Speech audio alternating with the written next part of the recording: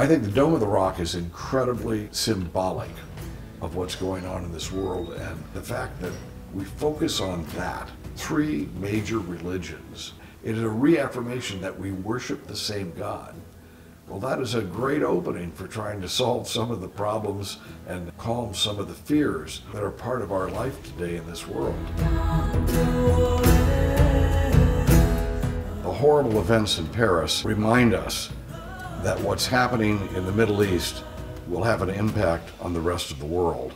But this isn't new. In history, we remember this has been going on since the Crusaders, and this has been going on for centuries.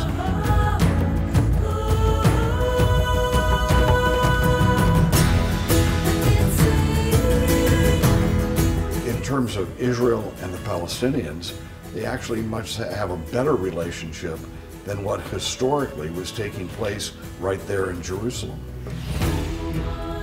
The only thing we hear from Temple Mount is that somebody throwing a rock at somebody because they were dressed in a different way when they were praying.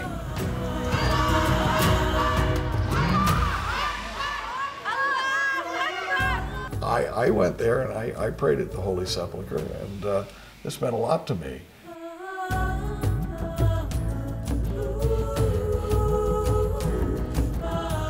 We need, to, through film and through uh, uh, this type of modernistic dialogue, to reach out to uh, people of goodwill. So we should take advantage of that, and uh, I understand that this whole project is part of that.